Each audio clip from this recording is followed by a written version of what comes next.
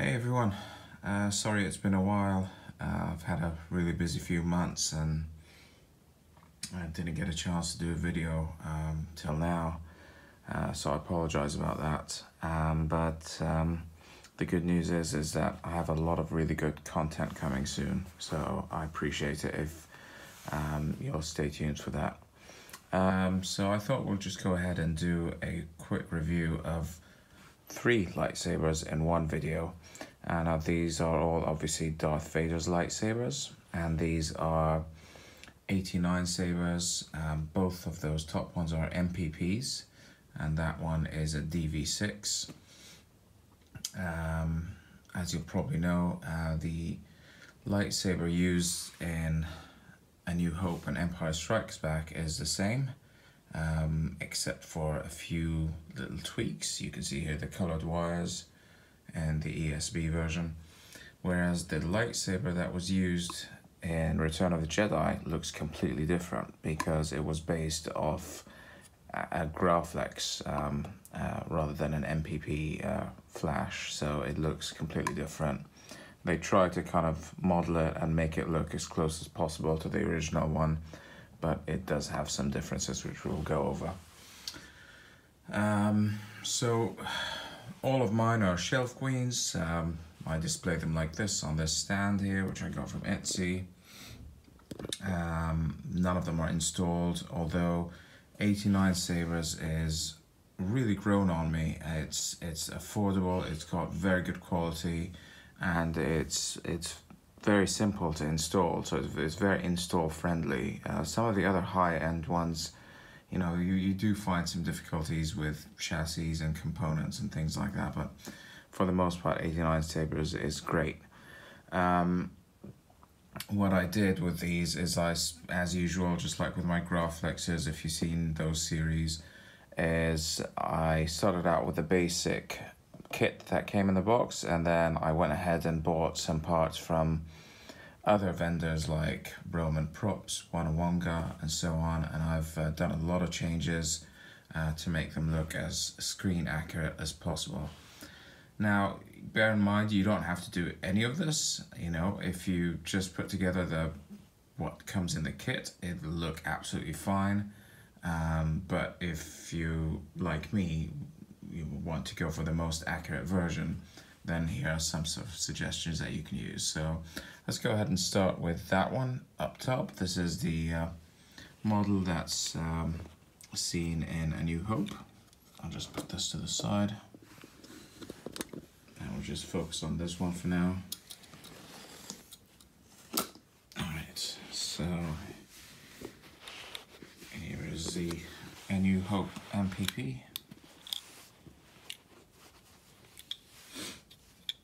So the first thing I did is I changed the shroud.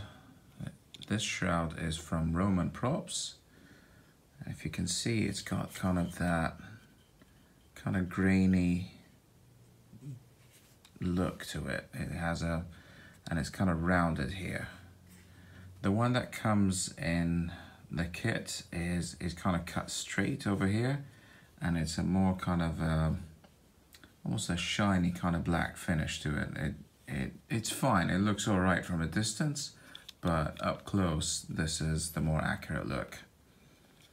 It just looks much higher quality. And the good news is it fits, it works great with it. If you get the one from Roman Props, it'll, it'll fit there. You know, you'll, you'll be able to swap one for the other, no problems.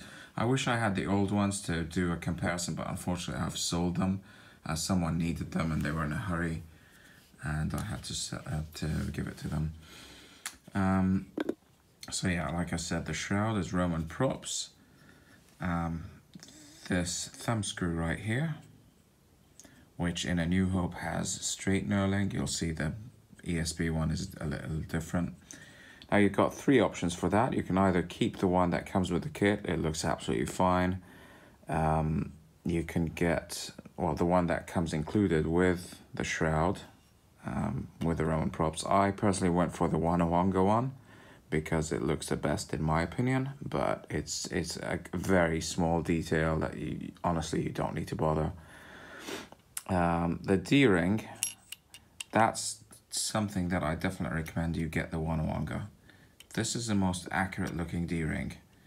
Um, the one that comes with the kit is too small and the one that you can get from Roman Props again comes with a shroud is huge. It, it sort of goes all the way around like and none of them look right. So this has got the right kind of size and look as well. Once you kind of pinch it down, it almost looks a little pointy and that's absolutely accurate to the prop. So I would definitely recommend WannaWanga D-ring. Thumb screw doesn't matter as long as it's cut straight like that. Those knurlings are straight if you're doing a New Hope. Shroud, I would recommend Roman props, but again, the 89 Sabers is, is not bad. Um, didn't do any changes here. I think I painted some of these. I don't know if that's accurate or not. With A New Hope, there really aren't that many good reference photos. Um, so I'll just use what I can. Um, else? Let's see here. Okay, so I've kept the clamp. A lot of people change the clamp to Romans. Yeah, maybe I'll do that in the future, maybe I won't. Oh, you see what I mean here about this kind of shiny, smooth, almost plastic kind of black finish? That was what the shroud looked like. So, yeah, I mean, I might change it in the future, but I'm honestly not that bothered. It's it's a good enough clamp for me. Um, it comes with the right lever. For A New Hope, you need silver sidebars. ESB is black sidebars. And I think, yeah, no lever. I'll do a comparison in a minute. Bubble strip. Um, you know, there's a bubble strip that comes with the kit. I think it's fine. I went with the WannaWanga. He's just released some brand new ones, which kind of look more accurate. If you look like that this way, I don't know how well you can tell, but it almost, it, it kind of looks like, like that. I don't know how to explain it. It's not cut straight anyway. It's got like two little kind of pillars here on either side.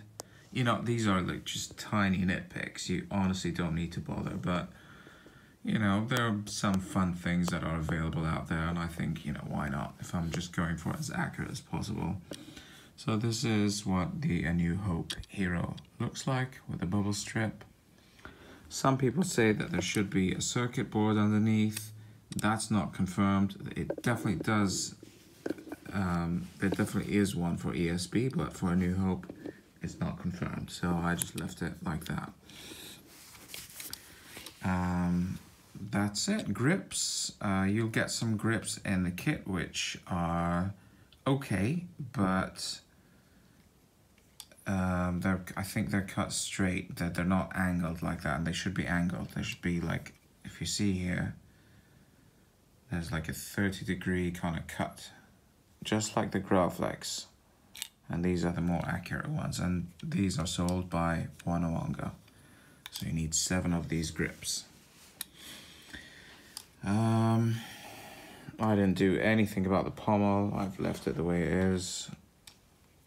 Yeah, that's about it really for A New Hope. It's a very simple prop.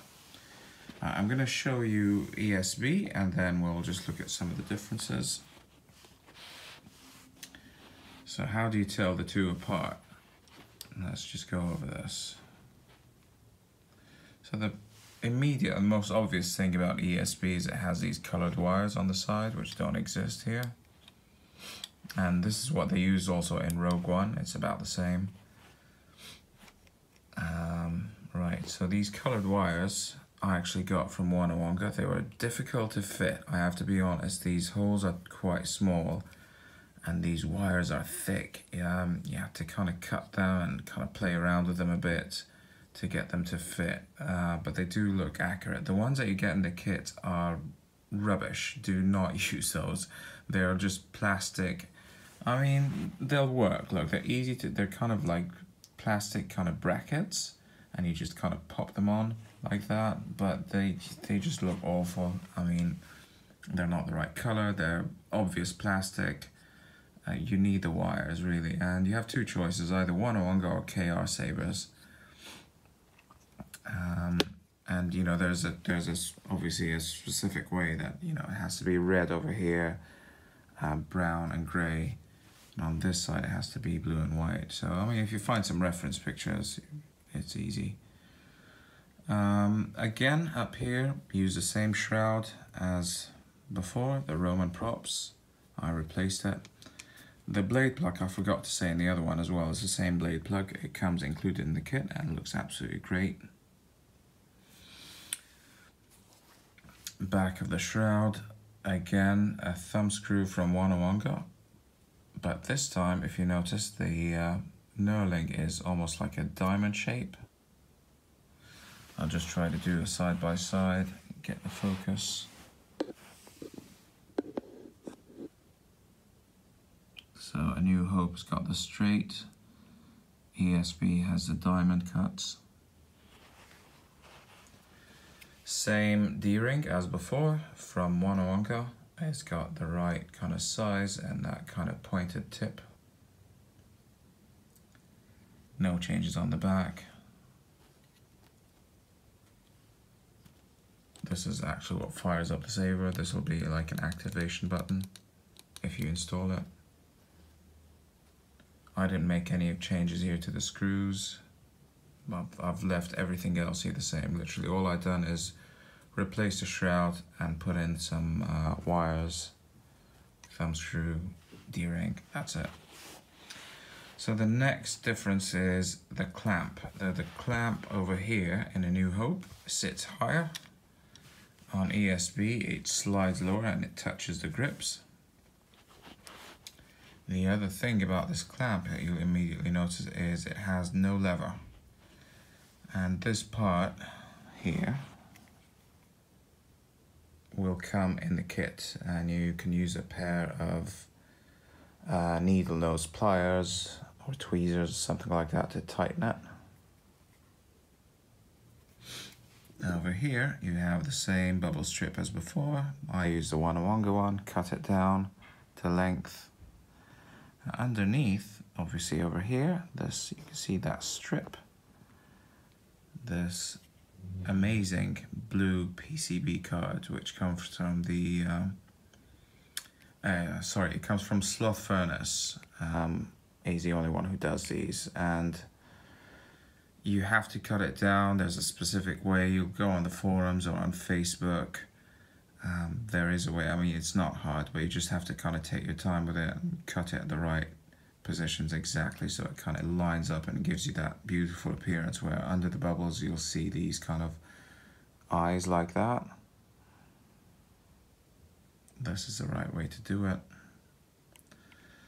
Uh, so yeah, you can get this from uh, Slothfurnace and it goes right underneath that groove there in the bubble strip.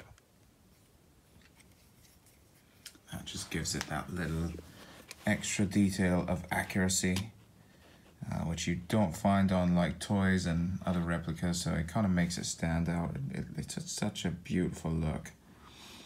So uh, as I said before, there's some debate whether this was the same on the A New Hope or whether it was a later edition. I, I kind of left it just because to make them look a little bit more unique. Otherwise it'd look too similar to each other. Um, grips, again, sold by WannaWanga. Um, they're different lengths and they're also, they're cut straight this time. You see the ends of them? They're not angled. They're straight. And there's also only six of them. And the other one, there's seven. If you count them, one, two, three, four, five, six, seven. Over here, there's one, two, three, four, five, six. And yeah, you just stick those on. They come with an adhesive strip.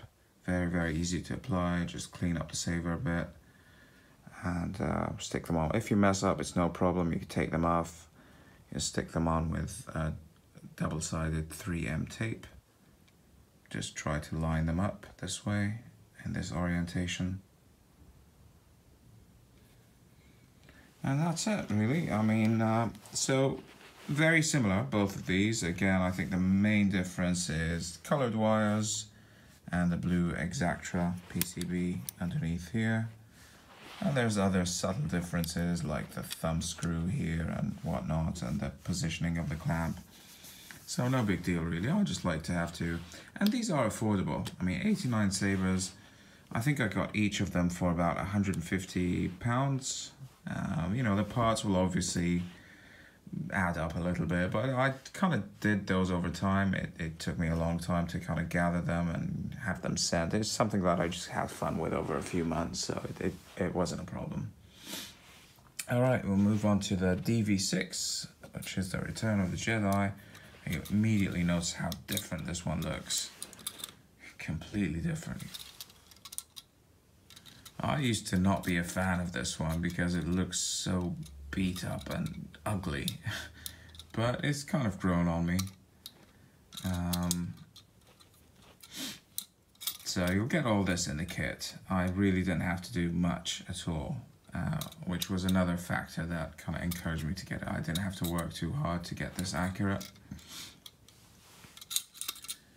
So, uh, yeah, same. I've kept the shroud, the D-ring, the thumb screw. I didn't bother changing any of these because they look just fine. Uh, one thing you do have to do is there are two brass pins on either side.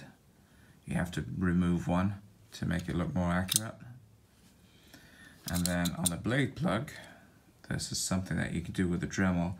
This pin here, it went up right up to here. It was really long, it's too long. So you have to kind of cut it down a bit and kind of make it look a bit jagged. I don't know if you could try to focus it.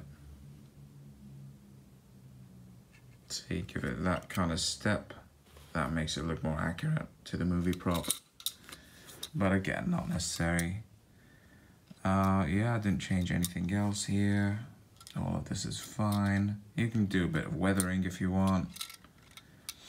I got some new grips. I didn't like the ones that came in the kit. So again, I went for the ones similar to A New Hope. Uh, I got um, seven angled grips. And they have to be a bit rounded. So let me try to show you the difference of what I mean with the grips. So going back to A New Hope, they're cut straight like at an angle but straight. Over here, you notice they're kind of almost rounded. They're, it kind of tapers. And I did that myself. They were the same as these ones, but I just kind of hand, I filed them by hand just to kind of smooth them out a bit and give it a more rounded appearance. The other thing that you have to do is you have to drill these holes. There's one, two, three holes in specific locations on the hilt. And that is also accurate for the prop. And finally this comes included with it is you get a cobalt with a pair of screws uh, which I did not use because I'm not a fan of the uh, cobalt clip that 89 Saber supply. Is fine. It's just too shiny. Um, I prefer the much higher quality one from WannaWanga it's got a nice kind of chrome finish. It's a bit thicker, a bit chunkier. Uh, it comes with rivets, uh, which were a pain to install, but there you have it. Um, I had to cut these down and glue it and God knows what, but it was fun. Um, yeah, and I'm not sure about the orientation, but I think from all the pictures I've seen, it needs to be kind of pointed that way. So with the, this control box up it has to be kind of going from you know sort of 8 o'clock down here. Oops. so if that's if this is a clock face and that's 12 o'clock there this would be 8 o'clock down here where the D-ring is. And that's sort of 2 o'clock more or less so it kind of goes diagonally, it cuts diagonally across it. At least that's what I think from the pictures that I've seen. I could be wrong um, I honestly did not make much changes to this. Literally just drilled the holes, filed a little bit of the grips to make them rounder. Uh, new cobalt up here, removed the pin, that's it. So that is it. That was another 89 Sabers. All three of them are 89 Sabers very affordable, very high quality. easy to install. If you're put off by the fact that they're not the most accurate, they're not like Roman props and some of the higher end ones, which are always sold out and pretty expensive too. I would say 89 Sabers is your friend. Um, try to get one of these if you can, and if you have any questions, let me know about making them more accurate or anything like that, and I'll be happy to help. So that's it, you guys, for today. Uh, I hope you've enjoyed the videos. If you have any questions or any feedback or anything you'd like me to cover in more depth, uh, do let me know in the comments down below. I appreciate it. Uh, thank you all for subscribing and for commenting, and I'll see you in the next one.